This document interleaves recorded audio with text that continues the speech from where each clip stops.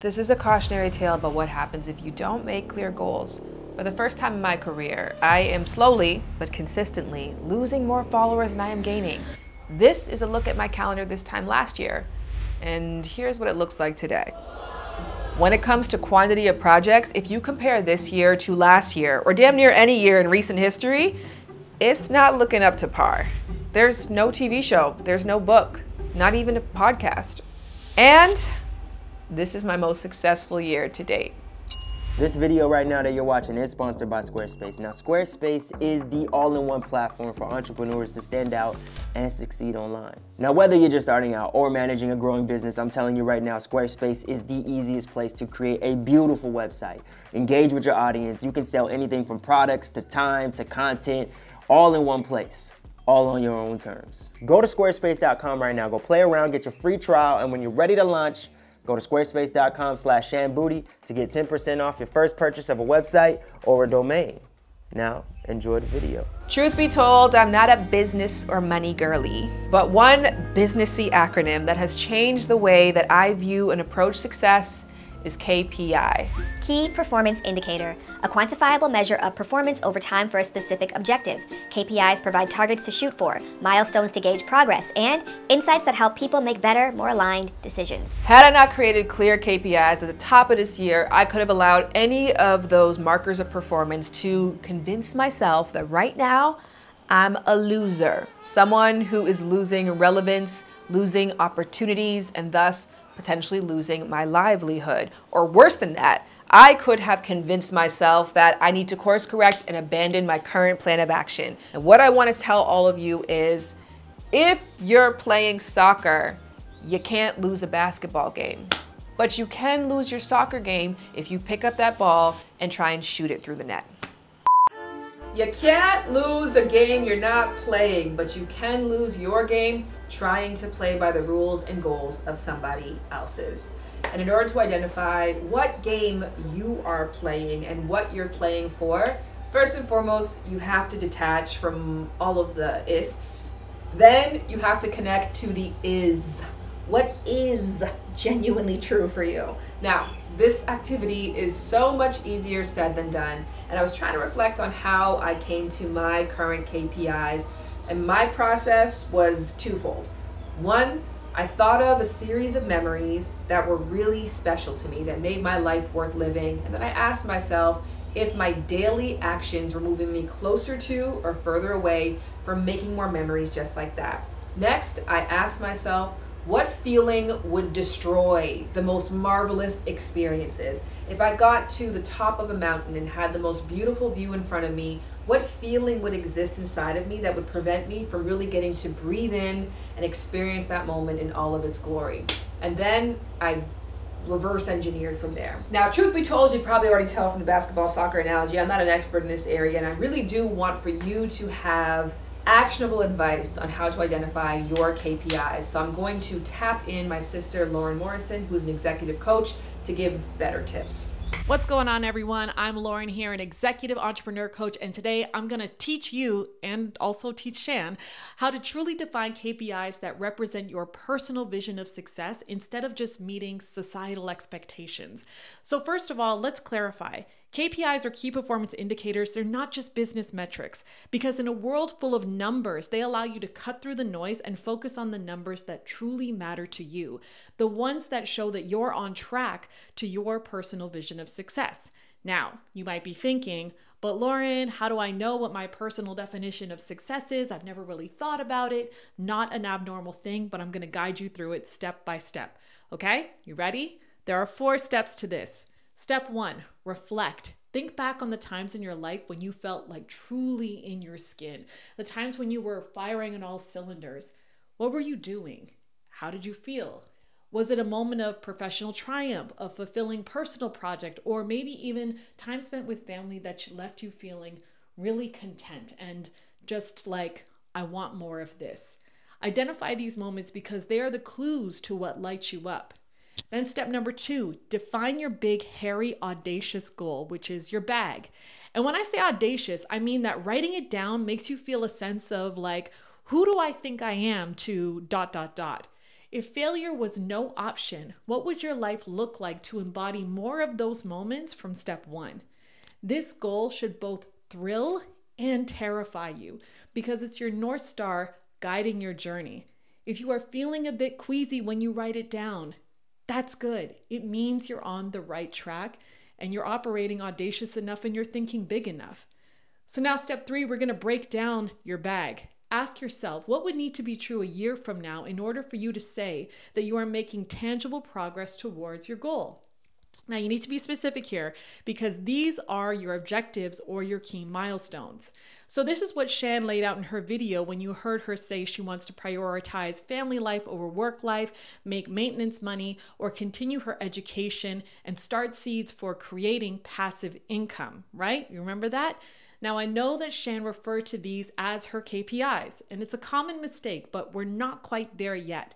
You see, it's still a bit too vague to measure, which means that she can easily continue to move the goalpost on herself or revert back to seeking validation in the numbers that don't align with her authentic success profile, such as number of followers or number of public opportunities. That's why we need to ground new numbers to keep our focus. So now we go to step four, which is define your KPIs. These are measurable indicators that will show you whether you're approaching your bag effectively. If your goal is to improve family relationships, a KPI could be number of family activities that you've successfully planned and executed. If it's educational advancement, your KPI might be the number of courses completed or credits earned. If your objective includes generating passive income through investments, a KPI could be the number of new investments you want to make, or say 20% growth in investment value over the next year. Is that making sense to us? Remember that the power of KPI lies its inability to be quantified. You should be able to say, clearly say, if the target was met or not. So it's not about setting vague intentions, but establishing clear, measurable markers of your progress along the way. By following these steps, you're not only going to set goals that are aligned with your inner values, but also track your progress in a meaningful way. And if, and if this seems a bit overwhelming and you're looking to apply a structured approach to this process, you could check out my sticky note KPI method for a step by step visual and also an engaging way to keep your goals front and center all year long. Thank you so much to Lauren. And now I want to talk about my KPIs for 2024. And this is a list that I wrote at the end of last year. For me, I would know that I was successful if I felt good about my family life, if I was making maintenance money, if I felt a connection to those who connect with my work, if I was pursuing a higher education or continuously educating and updating my skill set, if I was moving towards a life of passive income as opposed to input output, which is how my entire business had been modeled up till this year, if I was building something of my own, whether that be intellectual property or physical property, if there was something from me that I could give to the people who connect with my work that I truly felt from start to finish was exactly as I envisioned and the experience that I wanted them to have. And lastly, if I had a brand that cohesively tied all of the things that matter together, if I had an easy way for people to understand the complexities of my livelihood and my life. Okay, let's go through these one by one, starting with family life, which was the most important thing to me. And here is why and how I made that KPI.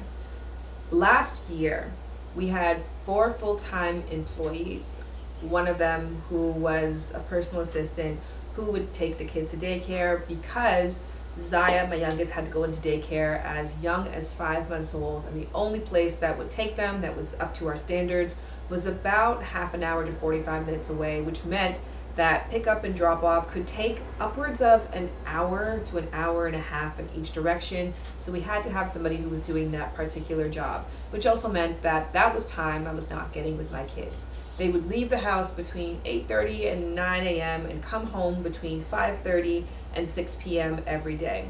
Now, because I had full time employees who would be coming to the house, we also had a very stringent schedule of working from 9 to 5, Monday to Friday. And we would be working solely on work based projects, things that were responding to incoming needs, um, things that had a deadline to them.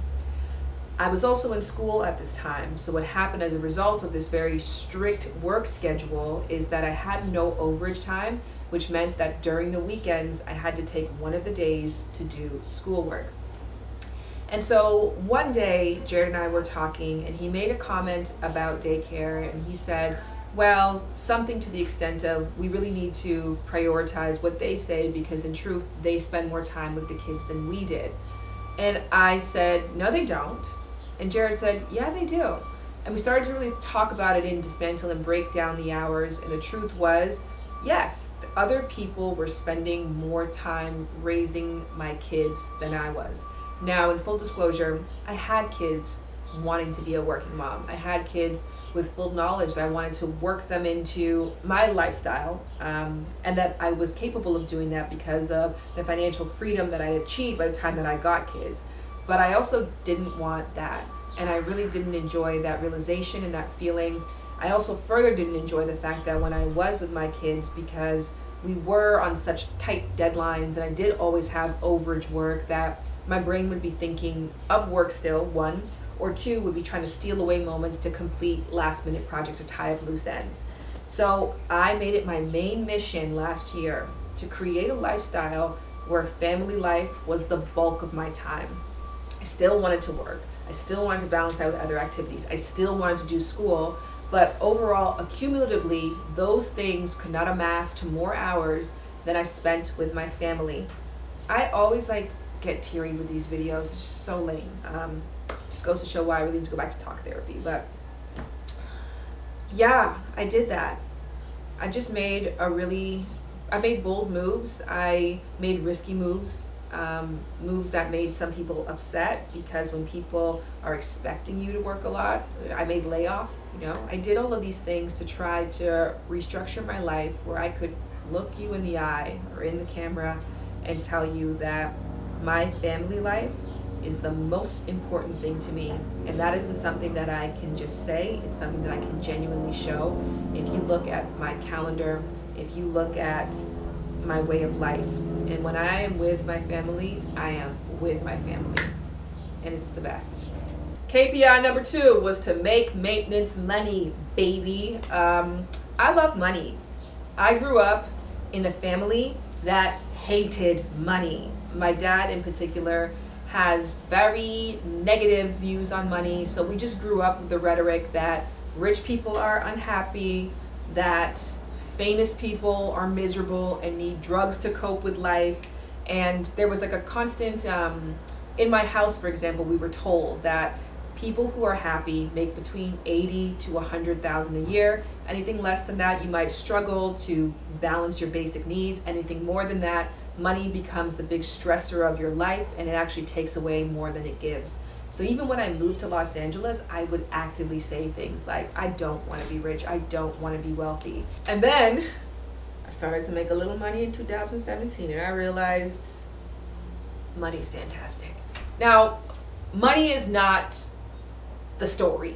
It's the punctuation in the story, okay? So if you don't already have a good family life, if you don't like yourself, if you don't have a connection with uh, a, a, higher power, if you don't have respect for fellow men, it's just all the things, it's not going to be able to rewrite that for you.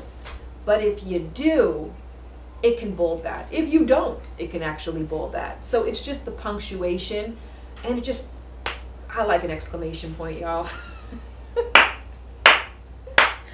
It's wonderful to not worry about money. It's incredible to have opportunities to access really great, cool, interesting things in life, to taste new foods, to stay at really great places, to live in a very beautiful home. So, what I thought about this year, scaling back so that I could spend more time with family, I didn't want to do so to the extent that we lost out on the way of life that we've become accustomed to that we really enjoy. So I really wanted to figure out how I could do both. I actually sat down the top of the year and really wrote out like how can I make X amount of dollars based on, you know, what our monthly budget is. And I just want to say this is not a moral the story thing. This is just a moment for me to feel really good about that. In order to make this decision, I asked myself, what am I what am I unquestionably very very good at and what do I know how to do better than anybody else? A lot of the things I'm trying to do this year are me entering into ball games um, or lanes, the business side, for example, that I traditionally am not very good at, that I am a little bit scared of, that there's a big learning curve. So while I'm undergoing this learning curve phase, in my maintenance phase, what do I do that's just my bread and butter that I know inside and out? And that is licensing out my expertise and my platform. I am really good at talking about sex, love, and relationships and there are companies who are willing to hire me to do so. I don't have to really extend myself. I don't, in many cases, have to learn something new. Going off of the existing work that I have done, I can apply that to that business and there can be exchange that's met there. In addition, I've spent a lot of time and years cultivating an audience who is very engaged in intimacy. There are a lot of brands and businesses who are interested in getting in touch with that audience. I can provide that pathway. And if I'm very honest, I am really good at marketing it's one of the talents that myself and Jared uh, used to dread really about our business of feeling like, are, are we just an ad agency? And maybe in some cases, yeah. And we're actually really, really good at making sponsored content. So that's just what I've been doing this year to maintain. And through leaning into what I'm good at, taking on less projects, but being really mindful about what I do take on, I actually think I'm projected to make more money, if not damn near double the money that I made last year kind of cool. Popping in real quick, I know I'm interrupting the video, but listen, I gotta give a shout out to the sponsor of this video, Squarespace, and let me show you these little tools that they got. Eh, check this out. Squarespace's Blueprint AI and SEO tools start a completely personalized website with a new guided design system. Easily launch your website and get discovered fast with integrity, flexible payments. Make checkout seamless for your customers with simple but powerful payment tools.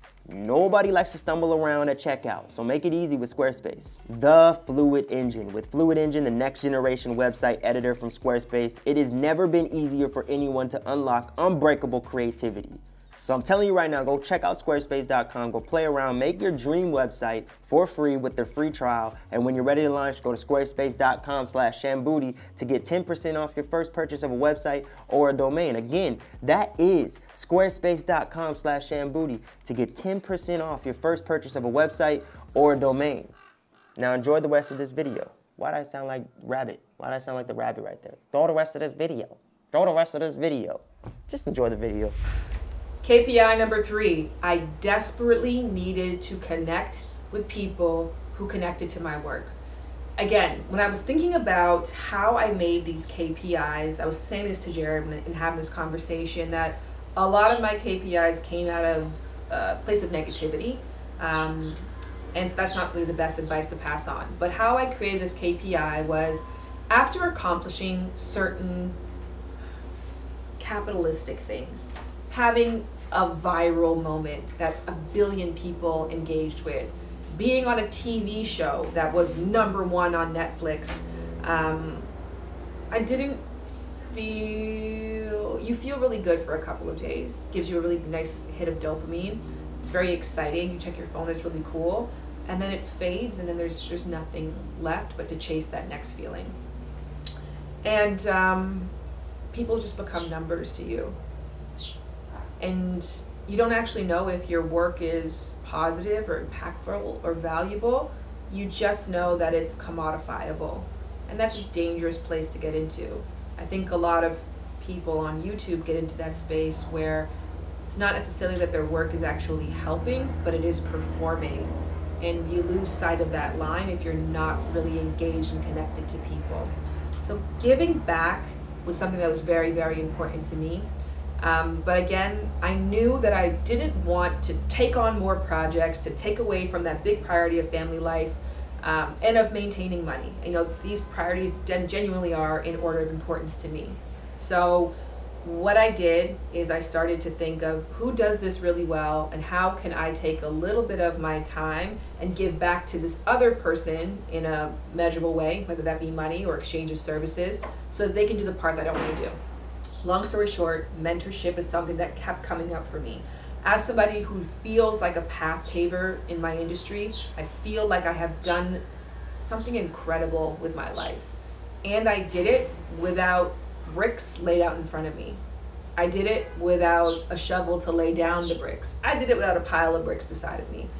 That isn't to say that those there's other people haven't done it in the past, but I wasn't aware of those people. And I know when I started, I really built this from the ground up, and I love what I've built. I'm really, really proud of my career, where I'm at, what I know, um, and who I know. I'm just I'm very, very proud. So mentorship is very important to me because I'm like, how do I give the tools that I have? How do I provide the bricks for other people? How do I show them the path? Um, how do I make it a little bit easier to get to where I am and hopefully, of course, hopefully, above where I am. But furthermore to that, the whole point of KPIs, get to where they want to go, which can be somewhere completely, totally different.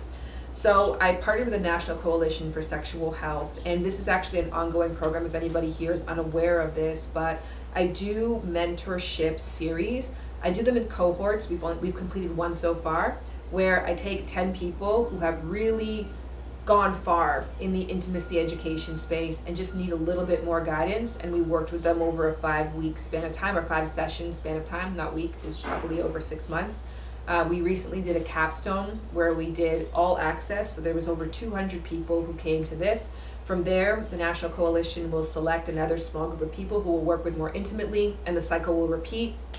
I've brought on experts, you know, to these to give more materials to give back. I've brought on my manager. I can now bring job opportunities to this group. It's just been so rewarding to me um, to hear the success stories of people who have just gotten a little bit further faster, and oftentimes not because of me in particular, but even the opportunity to be in community with other people. It's just been really, really rewarding. The second thing I really wanted to do, and again, if you're connected on my Instagram, you might be aware of this, but I talked about um, wanting to get to know people's actual individual stories. Changing the way that I saw success from how many followers am I accumulating to who are these people? Because a hundred people who I would never want to spend five minutes at a bus stop with is not as important to me as one person who I really admire, um, whom whose story I really want to hear. And I won't know the difference between those 100 and that one unless I have a way of listening to people and connecting with them. So everything that I have been doing in my business structure wise has been figuring out how do I go deeper and more meaningful with individuals. So if five people found out about Shan Boodram today and they are also connected to intimacy and learning about it and talking about it um, I have a way of getting to know those five people and then asking them and inviting them into a deeper connection. And then from there, we can figure out where this is going to go. I just didn't even have that infrastructure set up before. And I aggressively sought to figure this out. Another reason why I'm so passionate about mentorship, I actually hired a consulting company for $25,000 um, to basically tell me how do I even go about doing this in the most impactful elevated way to reflect where I feel I'm at in my career and how I want to position myself. And then from there, they pointed me in the direction of a team who can help me build this, which is another exuberant amount of money that I'm honestly so, so happy to pay, um, and which is really, really, really, really great again as to why I'm happy. I made more than just maintenance money this way. I made investment money. KPI number four, I had to be continuing my education. We're late enough in the video that I could be really, really honest and a little bold in saying I am sickened by the stories of experts and pundits and gurus who have lied and faked and plagiarized their way to the top. Especially in light of the fact that once you get to the top, there is no saying that you can't go back and strengthen up your foundation at that point. If there was extenuating circumstances, financial barriers, I completely attest that. I understand that. When I was applying for AASECT, which is the biggest most prestigious board for sexual educators and therapists in America. I applied to them in 2014. At the time, I did not have a bachelor's degree. And they said, that's it, you can't apply. I pointed to all the work that I had done, all the impact that I had had, the book that I had written, and none of that mattered to them. And I was frustrated because the reason why I didn't have a university education is that originally I got a full scholarship to Baltimore to run track. After a year, my scholarship was reduced because of my athletic performance. I couldn't afford to go back to school, and it was such short notice that I ended up needing to just enroll in a college that was taking, and that was a program that didn't offer a degree. Now, I did graduate with a diploma, and I did it in three years versus doing it in four years. And I felt frustrated that because of this, you know, lack of privilege, that I didn't have you know, a, a financial education that was paid for by my family or um, that I was being punished. So that to be said, I totally understand that the way that some people go about bolstering their educational foundation may not be traditional, and some people may acquire fame and may acquire a community before they get that foundational knowledge underneath them. But once you have the resources, you owe it to yourself, you owe it to the community to get that foundational backing.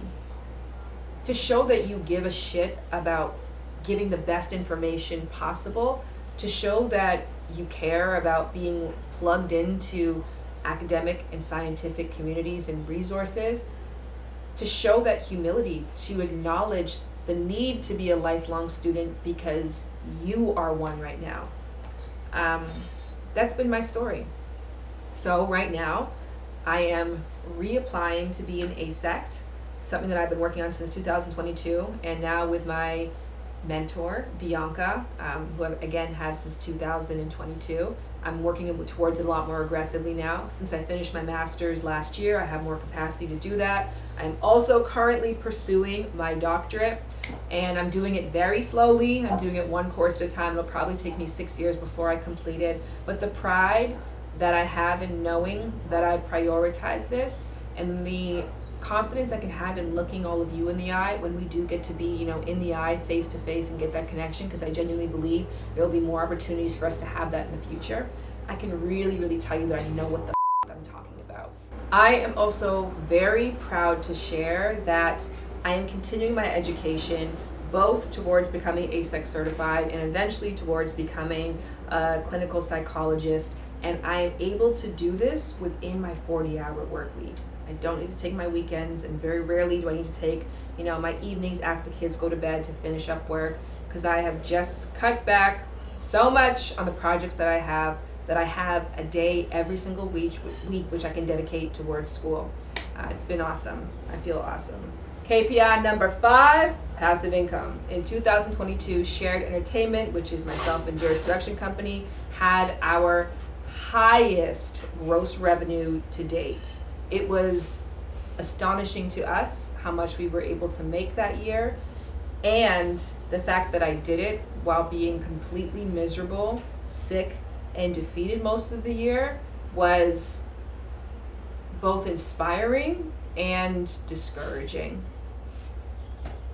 So I started to really think about that because after that really successful year and putting myself through hell to make the number that we made, I also realized as of January 1st, 2023, if I didn't continue up that same pace, that same lifestyle, I would never see that number again. There was nothing that I had done that would carry over to the following year.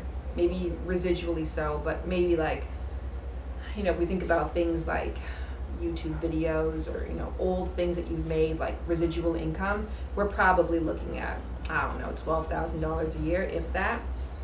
So I had to really start to really reformat my brain on how do I make the work that I've made work for future me so that there is a, a compounding of wealth, that there is accumulated wealth, um, that is not just based on that input output model. And if I'm having a year where I don't feel well, or some of my family doesn't feel well, and I'm not able to work as much, that I have created an infrastructure of business that can support me and support our lifestyle throughout.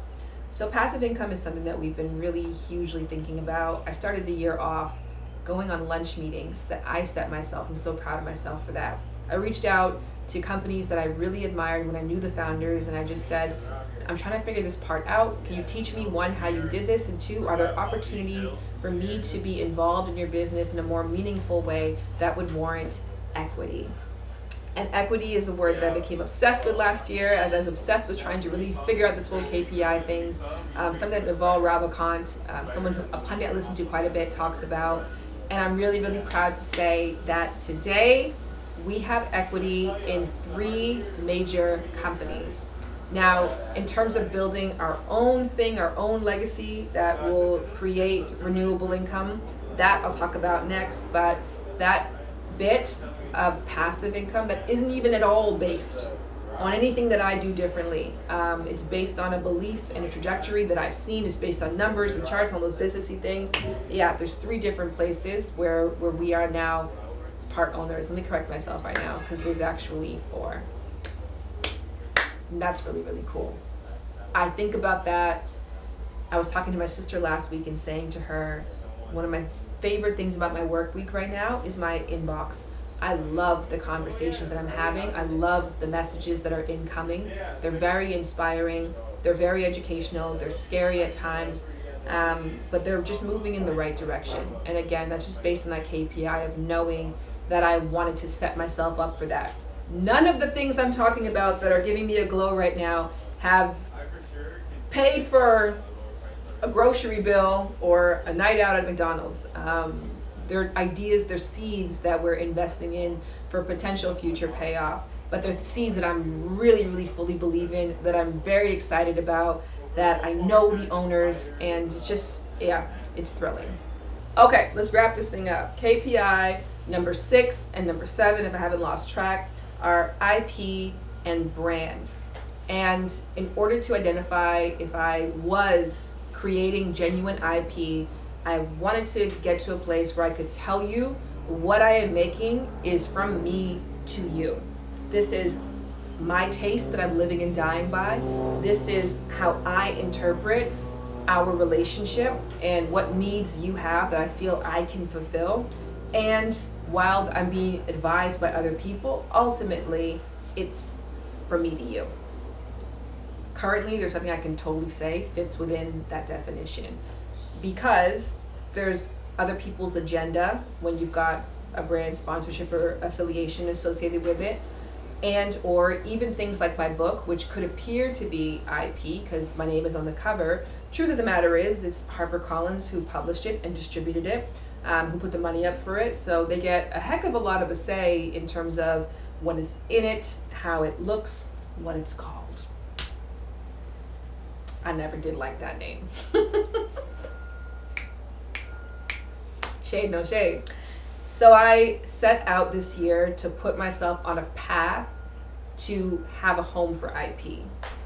That's pretty much all I've gotten to so far. I haven't decided what it is I'm going to make. That survey that I did is a part of that, getting to know and understand us a lot more, like really connecting with this. This is and this are.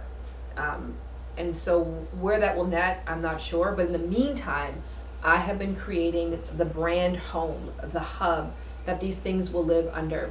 And I'm even saying that not totally confidently because I'm still in the process of making that.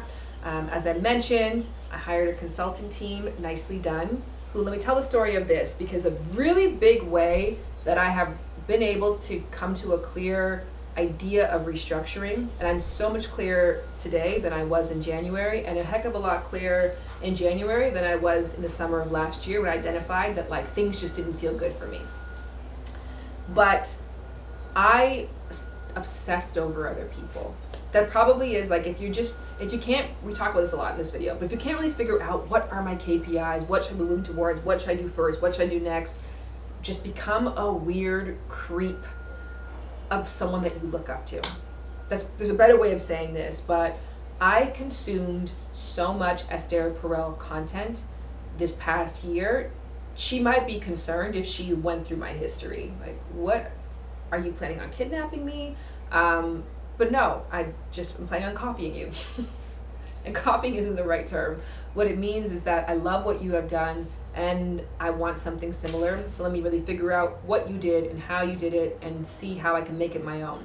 And there are some like literal ways in which I have um, followed in her footsteps. I like read a bunch of articles on her. She mentioned in one of her articles this consulting company that she utilized to get started. I went and hired that exact same consulting company. And I often use her work. I'm trying to describe to other people the brand that I'm trying to make. Not because I'm trying to make her brand, but the way that she has structured the work that she does, how clearly it's communicated, how beautifully it's showcased. Those are all things that are really, really important to me. Um, and that is a way that I am measuring my KPI. If I feel like I'm getting into the same realm of the feeling I get when I look at her work, do I get that when I'm looking at mine and the way that I'm structuring and building mine? That feels very vulnerable to share because I don't know, it feels kind of creepy, but I wanted to share that and saying that one, I really hope for some of you, I can be that individual that you can pick apart, assess, dissect, consume, and then steal and improve, right? Take whatever it is that I'm giving you right now, make it you, make it better, make it bolder, make it bigger. Um, yeah, that would be a, great honor to me. Anyhow, that's the end of this video. You already knew it was coming and you better have been thinking about it this whole time because I've been rambling on and the whole time you should have been thinking, hey, what are my KPIs? So that's my question to you all. In the comment section below, can you let me know three to five KPIs that you are working on or that you're establishing right now?